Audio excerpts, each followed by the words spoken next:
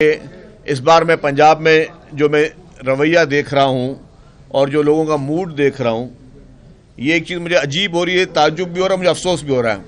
क्योंकि माजी में पी एम एल एन जो है, पीपल्स पार्टी की चंद माह के लिए इत्तेहादी रही है तो ज़रा मेरी भी हमदर्दी उनके साथ है। लेकिन इस बार लोग ये नहीं कि वो लोग वोट नहीं करना चाह रहे, लेकिन पता नहीं, ऐसा फील हो रहा है कि लोग पी एम एल एन से कोई शदीद तरीके से कोई नफरत कर रहे हैं। लोगों में मुझे एक नफरत का एलिमेंट नज़र आ रहा है जिसमें मैं लोगों को भी कहूँगा कि नफरत का एलिमेंट नहीं होना चाहिए। लोग बहुत बेजार हैं पी एम एल एन की पॉलिटिक्स से। पंजाब के लोग तंग आ चुके हैं यहाँ पे उनकी तर्ज हुक्मरानी से।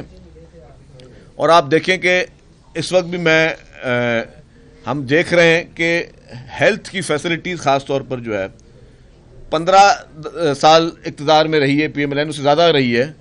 लेकिन हेल्थ की फैसिलिटीज़ आज भी पंजाब में ज़ीरो के बराबर है, सफ़र के बराबर में। आप देखें, पंजाब में कोई भी एक अच्छी हॉस्पिटल नहीं बना सके। आज स्मोक की हालत आप देख रहे हैं, पंजाब में जो सूरत हाल है, आलूदगी है। लेकिन ज़ाहिर है, जिन लोगों को ये स्मोक जिनको हिट कर रही होगी, जिन लोगों की सेहत को ख़राब कर रही होगी तो वो लोग कहाँ जाएँगे? कहाँ इलाज कराएँ? बड़े बड़े दावा करने वाली जमात, जो कि सिर्फ़ और सिर्फ़ जब भी बात करते हैं तो वो सिर्फ़ और सिर्फ़ बात करती है पी एम एल एन जो है, कि जी हमने मोटरवे बनाए और या तो ऐसे कारनामे गिनवाते हैं जो कारनामे उनके थे भी नहीं। जो पाकिस्तान पीपल्स पार्टी के कारनामे वो भी पी की क्यादत जो है, वो अपनी इलेक्शन की कैंपेनों में, अपनी तकरीरों में भी कभी कह रहे होते कि एटम बम मुल्क में उन्होंने दिया, कभी कहते हैं सी पैक उन्होंने दिया, कभी थरकोल उन्होंने दिया, इनमें कोई चीज़ उन्होंने नहीं दी। लेकिन अफसोस की बात है कि दूसरों के क्रेडिट गिनवाते लेकिन क्या पाकिस्तान के और खसूस तौर पर मेरे पंजाब के भाइयों, बहनों का क्या यह हक नहीं था कि उनको कोई सेहत की बुनियादी सहूलियात दी जाती? क्या वजह है कि आज भी इलाज के लिए लोग जो है, वो पूरे पाकिस्तान भर के लोग इलाज के लिए वो एन जा रहे हैं। यहीं पंजाब के और पूरे पाकिस्तान के हमारे दोस्त जो हैं, वो इलाज के लिए चिल्ड्रन हॉस्पिटल पे वहाँ जा रहे हैं। जो गम्बट में हमारा इंस्टीट्यूट है, लिवर ट्रांसप्लांट और लंग्स ट्रांसप्लांट का, वहाँ जा रहे हैं। तो यहाँ पे बेसिक हेल्थ आज तक फैसिलिटी देने में पीएमएलएन बुरी तरह नाकाम रही। उन्होंने सिर्फ़ चंद उन प्रोजेक्ट्स पे फोकस किया जिसमें उनका कोई अपना फ़ायदा था। उन्होंने कोई इस तरह का प्रोजेक्ट नहीं लेके आया जिसमें आवाम का फ़ायदा हो। क्योंकि कहते हैं, जान है तो जहान है। इंसान की सबसे ज़्यादा प्रायोरिटी क्या होती है? वो इंसान की अपनी सेहत होती है। और सेहत के शोबे में मुकम्मल तौर पर अनफॉर्चुनेटली पीटीआई भी बुरी तरीके से नाकाम रही। पीटीआई तो किसी फ़ील्ड में कोई काम नहीं किया। इमरान खान ने किसी फ़ील्ड में कोई काम नहीं किया।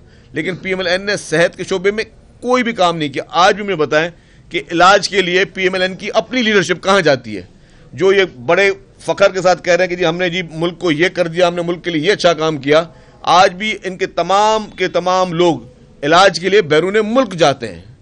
जबकि हमारे पास हाल यह है कि मुझे खुद अगर स्टंट डले, मुझे खुद सीवियर हार्ट अटैक हुआ तो मैं हैदराबाद के एनआईसीबीडी में रात को साढ़े चार बजे गया कि मुझे पता था मेरी सरकारी हॉस्पिटल मेरा इलाज कर सकती है।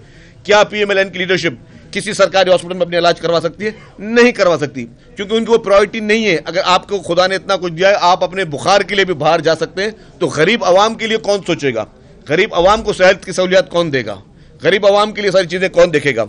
उसके साथ साथ हमारे पार्टी के दोस्तों ने बताया जुल्फ़ार बदर साहब बैठे हैं, बाकी मैडम नायाब बैठी हैं और सारे लोग यहाँ खड़े हुए हैं। यहाँ पे पीपल्स पार्टी ने अपनी कैंपेन के लिए जो भी प्रिंटिंग मटेरियल लगाया, जहाँ पे भी लगाया वहाँ पे वो मटेरियल उतारा गया।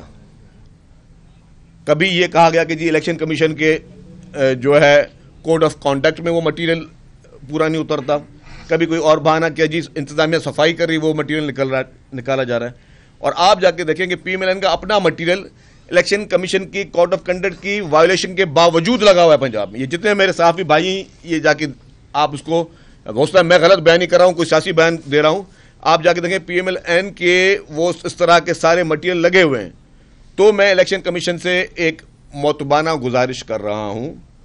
हम पॉलिटिकल पार्टी हैं, पाकिस्तान के कयाम से लेकर आज दिन तक। पाकिस्तान को आइन देने वाली पार्टी पाकिस्तान को एटमी ताकत देने वाली पार्टी है।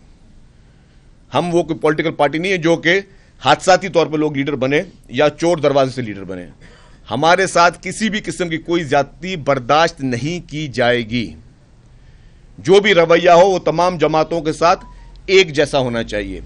ये कतई तौर पे बर्दाश्त नहीं किया जाएगा कि इलेक्शन कमीशन ऑफ़ पाकिस्तान के का नाम लेकर या उसकी आड़ पे या कुछ लोग और गुंडागर्दी करके पीपुल्स पार्टी का कोई भी प्रिंटिंग मटेरियल यहाँ से हटाएँ और बाकी जमातों के प्रिंटिंग मटेरियल यहाँ पे लगे रहें। अगर जो पॉलिसी होगी वो सारी पॉलिटिकल पार्टीज़ के लिए एक पॉलिसी होगी। मैं मोतबाना गुजारिश करता हूँ chief election commission of Pakistan से, पंजाब के चीफ इलेक्शन कमिश्नर से, कि बरए मेहरबानी फौरी तौर पर इसका नोटिस लें।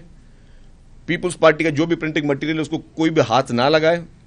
और हम नहीं चाहते कि एक पुरमन माहौल को हम चाहते हैं कि सारे पुरमन माहौल चले, लेकिन इस तरह की ऊँचे हथकंडे बर्दाश्त नहीं किए जाएँगे। मतलब एक शराफत से पीपुल्स पार्टी चलती है। पीपुल्स पार्टी की शराफत को किसी भी सूरत में पीपुल्स पार्टी की कमज़ोरी ना समझाया जाए। हम हर चीज़ में कानूनी रास्ता अपना अख्तियार करेंगे और कानूनी तौर पर यह नहीं हो सकता कि सिर्फ़ एक लाडले से किस्मती जान छूटी तो दूसरे लाडले के लिए जो है, वो खसूस इंतज़ाम अगर किए जा रहे हैं, उनको खास रियायत है खसूस दूसरे लाडले को, जो कि पहले भी इस मुल्क की तबाही के ये लोग सबब बन चुके हैं। इन दोनों लाडलों ने इस मुल्क को आज इस नोयत पर पहुँचाया है। चाहे वो पीटीआई हो, जिसने तबाही के किनारे में पहुँचाया, फिर बाद में पीएमएलएन, पहले भी और अभी भी। जिस तरह से उन्होंने इकॉनमी की तबाही और बर्बादी की है, इसकी जिम्मेदार इस मुल्क में पीटीआई और पीएमएलएन है। तो किसी भी सूरत में इन दोनों जमातों के ये काले कारनामे जो हैं, उसका खमीजा ये कौम नहीं भुगतेगी अब। अब कौम जो है, वो दस पॉइंट एजेंडा, जो कि चेयरमैन बिलावल भुट्टो जरदारी साहब ने दिया है, वाहिद उम्मीद है इस मुल्क की अब वो दस पॉइंट एजेंडा।